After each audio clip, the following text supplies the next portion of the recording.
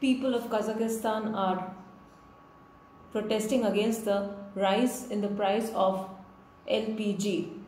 They want a cut in the price of LPG so that they can meet their energy requirements. However, government refuses to cut it down by half of what it is right now but might agree later to bring it down by a quarter percent.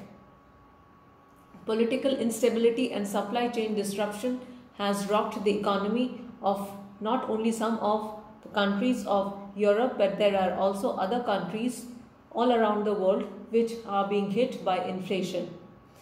Energy crisis is a big issue that needs to be tackled and a lot of countries have suffered last year due to an energy cut and crisis.